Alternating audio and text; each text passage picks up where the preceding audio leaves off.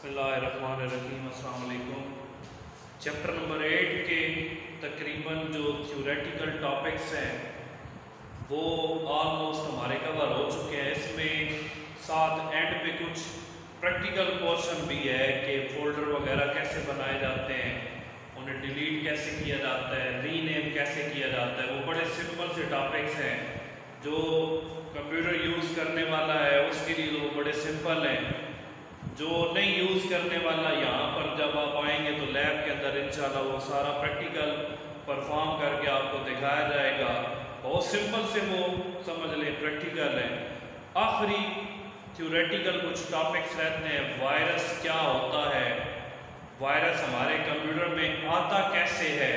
और हम अपने कंप्यूटर को वायरस से बचा कैसे सकते हैं? इस चैप्टर के लास्ट में कुछ थ्योरेटिकल टॉपिक्स हैं। स्टार्ट में आए folder file my computer recycle bin वगैरह। वो सारे मैंने कवर करा दिए। तकरीबन हो चुके हैं। लास्ट में यही टॉपिक रह गए वायरस क्या है? कैसे आएगा? कंप्यूटर में आकर वो क्या क्या नुकसान पहुँचा सकता है? और फिर हम वायरस से अपने कंप्यूटर को बचा कैसे सकते हैं? ये हमारे आज के टॉपिक्स हैं। तो सबसे पहले What is a virus? Virus virus समझ ले जिस तरह इंसान है ना इंसान उससे बीमारियाँ लगती हैं। तो कंप्यूटर को भी बीमारी लग सकती है। बीमारी जब लगती है तो हमें नहीं पता ये हम बीमार हुए, किस वजह से हुए। हमारे नॉलेज में नहीं होता, लेकिन बेड पे पड़ जाएँगे। जब कोई बंदा बीमार होता है उसकी जो नॉर्मल काम करने की रूटीन है, वो सारी की सारी रूटीन डिस्टर्ब हो जाती है। कैसे?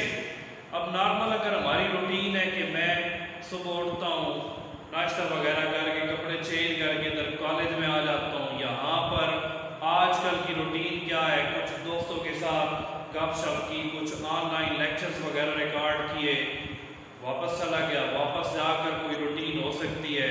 जिसके तहत मैं कोई गेम अगर करता हूँ तो पूरी एक सीक्वेंस है, पूरा शेड्यूल सा बना हुआ है। मैं उसके मुताबिक काम करता रहता हूँ, लेकिन अगर बुखार भी हो जाता है, खुदा न खासा अगर बुखार हो जाता है तो मेरी ये रूटीन तो नहीं रहेगी। मैं सुबह, पहले अगर सुबह सवेरे उठता हूँ, कोई नमाज़ वगैरह पढ़ के ग्राउंड में जाता हूँ, अब मैं सुबह सवेरे नहीं उठ सकता। क्यों? दर्द है या बुखार की वजह से लेटा हुआ हूँ उठा नहीं जा रहा। मेडिसिन लेना पड़ेगी। फिर हो सकता है नमाज़ भी रह जाए ग्राउंड तो जा नहीं सकता। नाश्ता करने का मूड नहीं करेगा कॉलेज नहीं आ सकूँगा। मेरी जो नॉर्मल रूटीन थी, वो बीमारी की वजह से डिस्टर्ब हो गई। जो काम करने की नॉर्मल रूटीन थी, वो बीमार होने की वजह से वो रूटीन मेरी डिस्टर्ब हो गई। अब इससे हटकर रूटीन कंप्यूटर की अगर हम देखें कंप्यूटर काम कर रहा है। हम उस पर काम कर रहे हैं, कोई गेम खेल रहे हैं, कोई वीडियो देख रहे हैं, बेहतरीन काम कर रहे हैं। स्पीड भी बेहतरीन है। कोई उसमें डिस्टर्बेंस नहीं है। लेकिन जब कंप्यूटर में वायरस आ जाएगा, मैं हो सकता है कंप्यूटर को ऑन करूँ, वो ऑन होने में चार पाँच मिनट लगा दे। कोई फ़ाइल ओपन करने की कोशिश करूँ, अब नॉर्मल रूटीन में क्या है? फ़ौरन वो ऑन भी हो जाता है। फ़ाइल जिस पे मैं डबल क्लिक करता हूँ, वो फ़ौरन फ़ाइल ओपन भी हो जाती है। लेकिन, अब बस ये कंप्यूटर को बीमारी लगी हुई है, उसके अंदर वायरस आ चुका है। तो फ़ाइल को ओपन करूँगा, हो सकता है ओपन ही ना हो। या ओपन होने में वो पहले से ज़्यादा टाइम लगा दे। नॉर्मल रूटीन में डिस्टर्बेंस आई है। या मैं कोई गेम खेल रहा हूँ। पहले मैं गेम खेल रहा हूँ, बड़ी फ्लुएंट वो, बड़े बेहतरीन तरीके से खेल रहा हूँ। कोई मिशन क्लियर होता है तो कंप्लीट मिशन मैं खेल लेता हूँ। कोई भी गेम ऐसी है जो वो कंप्लीट होती है, जब मैं बंद करता हूँ, तभी बंद होती है। खेलता रहूँ, दस घंटे खेलता रहूँ तो कोई डिस्टर्बेंस नहीं आएगी। लेकिन अगर वायरस ने हमारे कंप्यूटर पे अटैक किया है तो जो ही मैं गेम दो चार मिनट खेल चुकूँगा फ़ौरन एक एरर मैसेज आएगा, वो बंद हो जाएगी। फिर मैं दोबारा लगाऊँगा, फिर कुछ टाइम के बाद फिर एरर मैसेज आया, फिर बंद हो गई। बड़ी डिस्टर्बेंस आ रही है। मैं कोई मूवी देख रहा हूँ बार बार वो बंद हो जाती है वीडियो ही बंद हो जाती है। फिर मैं ओपन करता हूँ, फिर उसे जहाँ तक देख चुका सेट करने में टाइम वेस्ट होगा। बड़ी डिस्टर्बेंस हो रही है। तो जब इस तरह की डिस्टर्बेंस हम फील करते हैं तो हम ऑटोमेटिकली कहना शुरू कर देते हैं कि मुझे लगता है मेरे कंप्यूटर में वायरस आ चुका है। तो ये है क्या? किस तरह से आता है? ये हमारे आज के टॉपिक्स है। थोड़ा सा ये स्टार्ट में मैंने इंट्रोडक्शन किया। वायरस तो अगर हम डिफाइन करें तो हम कहेंगे virus is a program virus is a program that may disturb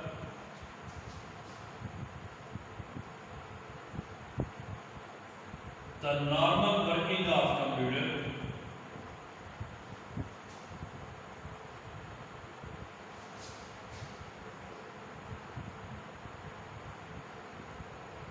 without the knowledge and permission of user.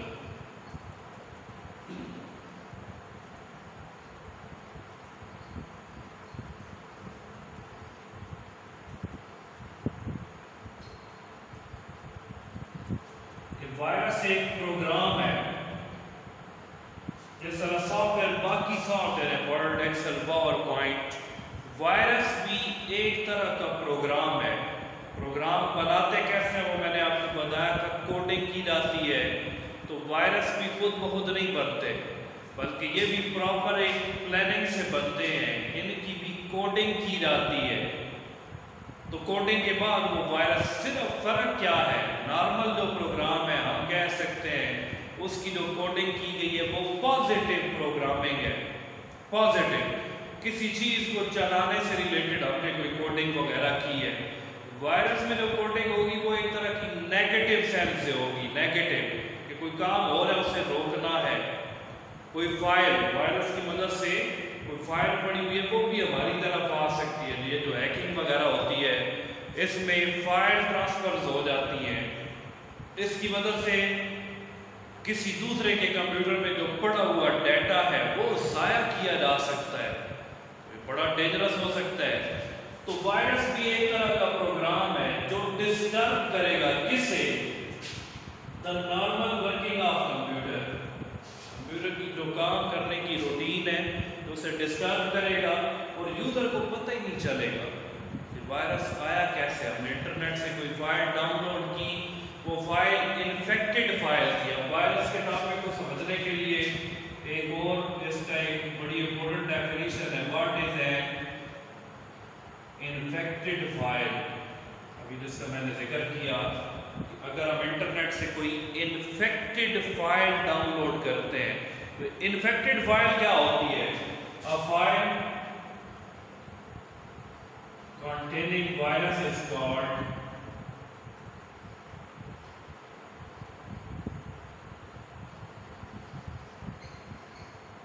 infected file.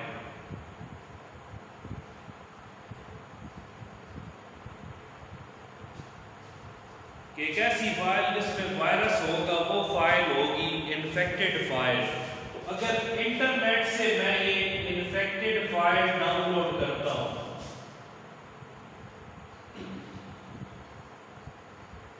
अब डाउनलोड हो जाएगी वायरस एक्टिवेट नहीं होगा। वायरस नुकसान नहीं पहुंचाएगा। अगर डाउनलोड कर ली है कंप्यूटर में पड़ी हुई अभी तक नुकसान नहीं पहुंचाएगा।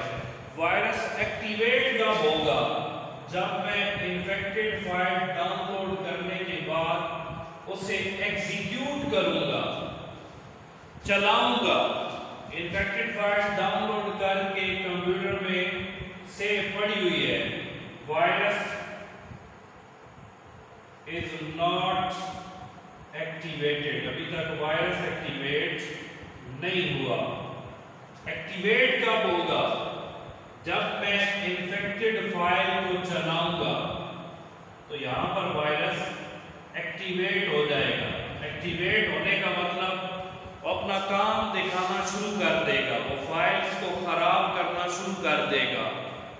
तो जब इन्फेक्टेड फ़ाइल मैं डाउनलोड करूँ डाउनलोड करने के बाद उसे मैं चलाऊँगा तो मेरे कंप्यूटर में वायरस एक्टिवेट हो जाएगा और वो अपना काम दिखाना शुरू कर देगा। इस बात को भी समझना बहुत ज़रूरी है कि इन्फेक्टेड फ़ाइल होती क्या है। तो ये था वायरस का थोड़ा सा इंट्रोडक्शन अब ये नुकसान क्या पहुंचाएगा? डैमेजेस हमें क्या नुकसान पहुंचाएगा? एक तो बार बार फॉल्स मैसेजेस फॉल्स मैसेजेस क्या कि हम कोई काम कर रहे हैं, एक मैसेज बॉक्स पे मैसेज आया, वो वीडियो बंद हो गई, वो गेम बंद हो गई, ये बार बार दिखाना शुरू कर देगा। मतलब डिस्टर्ब होता है। अब मैं यहाँ पर अगर काम कर रहा हूँ बार बार किसी के मैसेज आना शुरू हो जाए, एक ही बंदे के, मैं अपना कोई ज़रूरी काम कर रहा हूँ, उससे मुझे डिस्टर्बेंस तो जारी बात होगी। या मैं किसी मीटिंग में बैठा हूँ, एक बार किसी ने कॉल की, फिर कॉल आ गई, मैंने बिज़ी कर दिया, फिर उसने फ़ौरन कर दी। तो इससे डिस्टर्बेंस तो होगी। तो इसी तरह मैं जब कंप्यूटर पे कोई काम कर रहा हूँ, अगर मेरे कंप्यूटर में वायरस है तो बार बार इस तरह के फॉल्स मैसेजेस आएँगे। वो काम मुझे करने नहीं देंगे। मैं बड़ा डिस्टर्ब हूँगा तो ये नुकसान पहुँचाएगा। फिर it can delete important data हमारे कंप्यूटर में पड़ा हुआ जो डाटा है, जो इम्पोर्टेंट डाटा है, उसको ये नुकसान पहुँचा सकता है डिलीट कर सकता है। और सिर्फ़ डिलीट नहीं, ये हमारा डाटा हमारे कंप्यूटर का दूसरे कंप्यूटर में ट्रांसफ़र भी कर सकता है। जिस तरह क्रेडिट कार्ड नंबर वगैरह स्टार्ट में लोगों ने कंप्यूटर के अंदर ही फ़ाइल बनाकर सेव की हुई होती, वो credit card number hacker transfer कर लेते हैं अपनी तरफ़ और शॉपिंग करते। हमारे भी आप पे पैसे हमारे कटते और शॉपिंग वो कर लेते हमारे भी आप पे पेमेंट्स वो कर रहे हैं, चीज़ें वो परचेज कर रहे हैं पेमेंट्स मेरे अकाउंट से जाएँगी। तो बड़ा डेंजरस काम था। फिर सॉफ्टवेयर को नुकसान पहुंचाएगा it can damage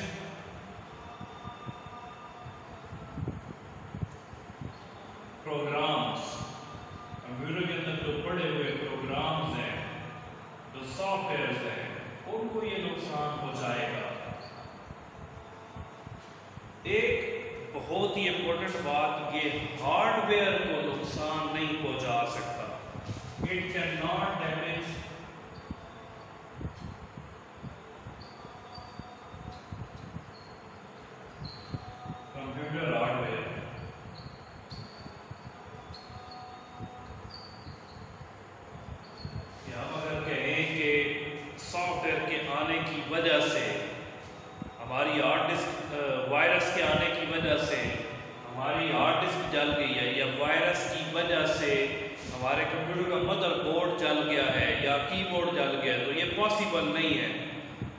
virus सिर्फ़ नुकसान पहुंचाएगा कंप्यूटर के अंदर पड़ी हुई जो फाइल्स हैं जो सॉफ्टवेयर वायरस हार्डवेयर को कोई नुकसान नहीं पहुँचा सकता। तो ये इसके डैमेजेस हैं जो कंप्यूटर के अंदर ये कर सकते हैं। अब सोर्सेज ऑफ़ वायरस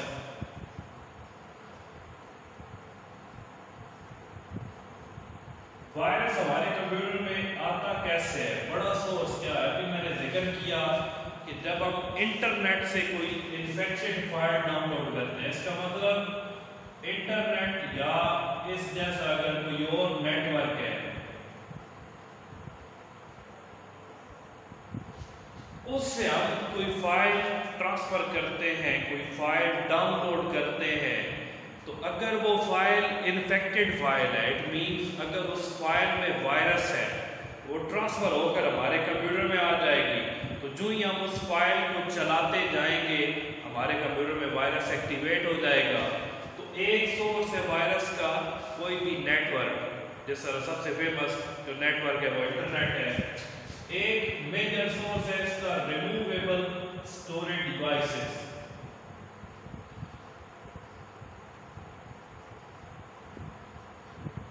ये कौन सी है? फॉर एग्ज़ाम्पल सीडीज हो गई डीवीडीज वगैरह हो गई, या ये जो आजकल आई हुई यूएसबी जिसे हम कहते हैं फ्लैश ये हो गई। अगर मेरे कंप्यूटर में किसी फ़ाइल में वायरस है, मैंने उसे कॉपी किया यूएसबी फ्लैश में और किसी दूसरे कंप्यूटर में जाकर उस फ़ाइल को ट्रांसफ़र कर दिया तो इट मीन तो उस फ़ाइल के साथ वायरस भी दूसरे कंप्यूटर में ट्रांसफ़र हो गया। तो removable storage devices floppy disk हो गई। एक्सटर्नल हार्ड डिस्क हो गई। ये सारी रिमूवेबल स्टोरेज डिवाइसेस के अंदर कोई मोबाइल अगर हम साथ लगाते हैं या मेमोरी कार्ड वगैरह लगाते हैं तो उनमें वायरस होगा तो जो ही जिस कंप्यूटर में वो ट्रांसफ़र डाटा हम करते जाएँगे, वायरस और फाइल्स के साथ दूसरे कंप्यूटर में भी ट्रांसफ़र हो जाएगा। तो रिमूवेबल स्टोरेज डिवाइसेस की मदद से हमारे कंप्यूटर में वायरस आता है। एक और बड़ा सोर्स ईमेल ईमेल वो जो मैसेजेस हम भेजते हैं आजकल तो ईमेल का थोड़ा सा एक ट्रेंड समझ लें।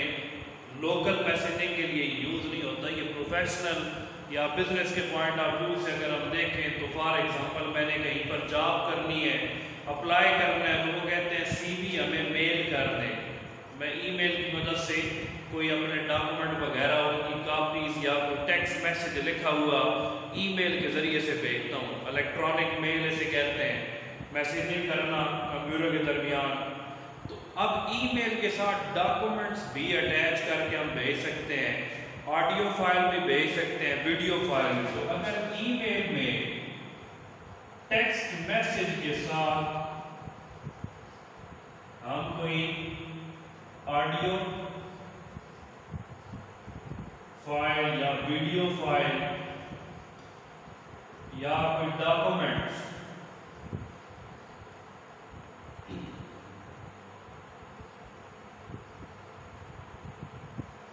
ये अटैच करके भेज देते हैं टेक्स्ट मैसेज के साथ। तो इसको कहा जाता है?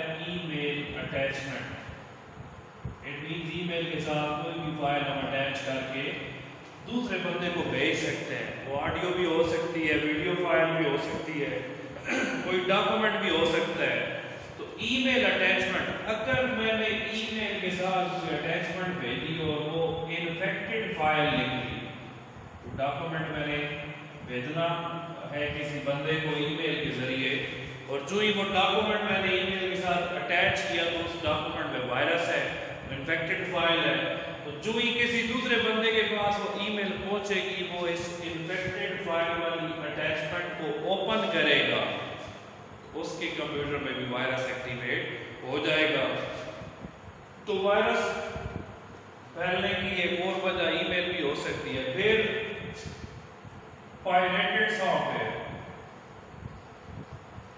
ये जो अनरजिस्टर्ड सॉफ्टवेयर होते हैं illegal copy of software illegal और unregistered copy of software इनमें कहते हैं? वायरस होता है। तो अगर हम ये पायरेटेड सॉफ्टवेयर इस्तेमाल करेंगे कंप्यूटर में इंस्टॉल करेंगे तो हमारे कंप्यूटर में वायरस आ जाएगा। तो ये सोर्सेज हैं वायरस के आने के। अब कंप्यूटर को वायरस से बचा कैसे सकते हैं? बड़ा सिंपल सा, चार पॉइंट तो बड़े सिंपल से बन जाएँगे।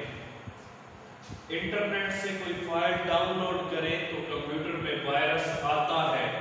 तो हम इंटरनेट से इन्फेक्टेड फ़ाइल डाउनलोड ही ना करें।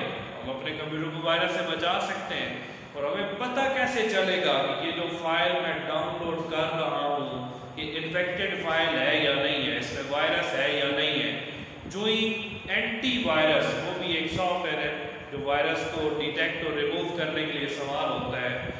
अगर मेरे कंप्यूटर में एंटीवायरस मौजूद है तो कोई फ़ाइल डाउनलोड करने से पहले मैं स्कैन कर लूँ एंटीवायरस से वो बता देगा कि ये इन्फेक्टेड फ़ाइल है या नहीं है। अगर इन्फेक्टेड फ़ाइल है, उसमें वायरस है तो मैं डाउनलोड ना करूँ वायरस नहीं आएगा।